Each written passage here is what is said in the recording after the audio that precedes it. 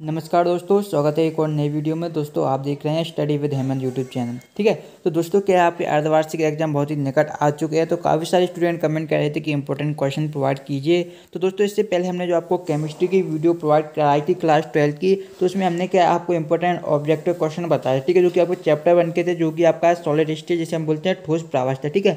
अगर आपने वाला वीडियो नहीं देखे तो डिस्क्रिप्शन में आपको लिंक मिल जाएगी तो वहाँ से जाकर आप वीडियो को देख पाएँगे। ठीक है? और दोस्तों, काफ़ी सारे स्टूडेंट कमेंट कर रहे थे कि आपने इंपॉर्टेंट क्वेश्चन नहीं बताया दोस्तों फिक्स में हम आपके लिए इंपॉर्टेंट क्वेश्चन लेकर आ चुके हैं, जो आपका अध्याय एक, दो और तीन है, ठीक है? तो वीडियो को अंत तक ज़रूर देखिएगा, ठीक है? और दोस्तों, अगर चैनल को अगर आपने अभी तक सब्सक्राइब नहीं किया तो पहले चैनल को सब्सक्राइब कर लीजिए, उसके पास एक आपको बेल आइकन का बटन दिखेगा तो उसे भी दबा दीजिएगा, ठीक है? और दोस्तों, अगर आपने तक हमारे टेलीग्राम ग्रुप को ज्वाइन नहीं किया, डिस्क्रिप्शन में टेलीग्राम ग्रुप की लिंक है तो टेलीग्राम ग्रुप ज्वाइन कर लीजिए, क्योंकि दोस्तों, इसकी पी आपको हमारे टेलीग्राम ग्रुप पर मिल जाएगी, ठीक है? तो वीडियो अपलोड होने के बाद ये पी आपको हमारे टेलीग्राम ग्रुप पर मिल जाएगी तो ज्वाइन ज़रूर कर लीजिए। चलिए दोस्तों, स्टार्ट करते हैं वीडियो को। यहाँ पर देखिए, पहला क्वेश्चन दिया गया है कि विद्युत क्षेत्र की तीव्रता की परिभाषा लिखी यानी जो विद्युत क्षेत्र की तीव्रता होती है, उसकी हमें डेफिनेशन लिखनी है विद्युत क्षेत्र की तीव्रता, ठीक है?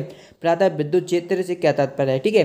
फाइनल एग्ज़ाम में दोस्तों इस चैप्टर से अगर चार नंबर का क्वेश्चन आता है तो इसमें क्या काफ़ी सारे स्टूडेंट क्या कहते हैं बड़े बड़े क्वेश्चन याद कर लेते हैं छोटे क्वेश्चन याद नहीं करते, लेकिन ये उनकी सबसे बड़ी गलती होती है। क्योंकि दोस्तों, जब भी क्वेश्चन फिजिक्स में आता है तो दो देखिए, दो नंबर की डेफिनेशन पूछी जाती है और दो अंक का आपका व्यंजक पूछा जाता है। तो हमेशा आगे डेफिनेशन ज़रूर आपको देखने को मिलेगी। अगर आप ओल्ड पेपर देखेंगे तो आपको ये ज़रूर देखने को मिलेगा। तो आपको क्या डेफिनेशन ज़रूर छोटी छोटी जो डेफिनेशन होती है, उनको ज़रूर अच्छी तरीके से याद कर लेना। ठीक है, फिर आता है, कूलाम का विद्युत संबंधित नियम रखना तो ये भी इंपॉर्टेंट है, इसे भी अच्छी तरीके से कर लेना है। ठीक है, जितने भी आपको क्वेश्चन बताया जा रहा है, सभी प्रीवियस ईयर क्वेश्चन पेपर है। ठीक है, फिर आता है, विद्युत विभाग को प्रभाषित कीजिए, इसका ऐसा ही मातक व सूत्र भी लिखिए। ठीक है तो ये भी इंपॉर्टेंट क्वेश्चन है। ठीक है, फिर आता है, विद्युत आवेश से आप क्या समझते हैं? विद्युत जो आवेश होता है ठीक है इससे आप क्या समझते हैं इसकी भी हमें विद्युत आवेश की डेफिनेशन लिखनी फिर आता है।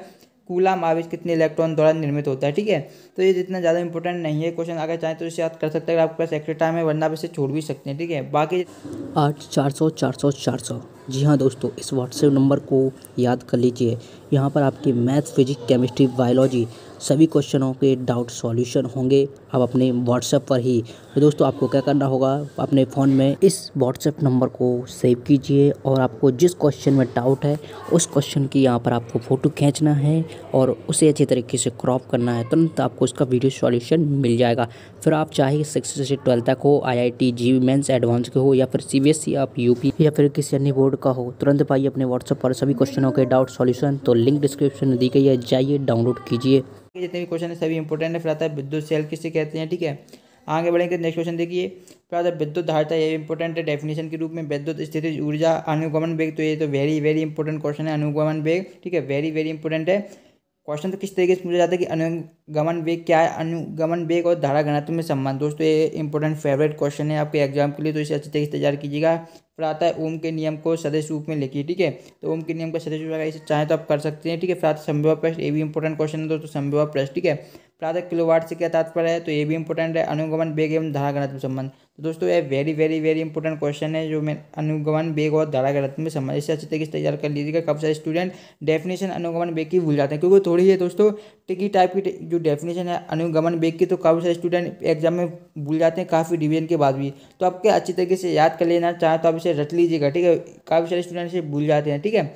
तो आपका इसे लिख लिख कर ज़रूर याद कीजिएगा, जिससे आपको जब आप एग्ज़ाम में लिखें तो आपको ध्यान आ जाए। वरना आप अगर याद करेंगे तो ये भूल जाते हैं, ठीक है? तो अच्छी तरीके से याद कीजिएगा इसे।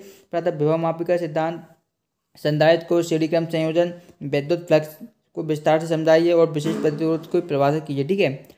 दोस्तों, इसमें से कुछ क्वेश्चन हो सकते हैं जो आपको सिलेबस हटा दिए गए उसमें से लिए गए हों, लेकिन क्या है, अभी जो वीडियो बनाई, वो थोड़ी वीडियो पहले बन गई थी।